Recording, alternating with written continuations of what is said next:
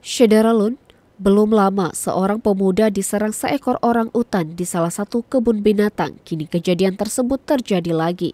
Bedanya, kali ini seorang karyawan seruling Mazo terlihat sengaja berjoget dekat kandang orang utan hingga viral di media sosial. Seorang pria mengenakan seragam kerja berwarna biru gelap, tengah berjoget di dekat kandang kemudian orang utan tersebut pun mengeluarkan tangannya.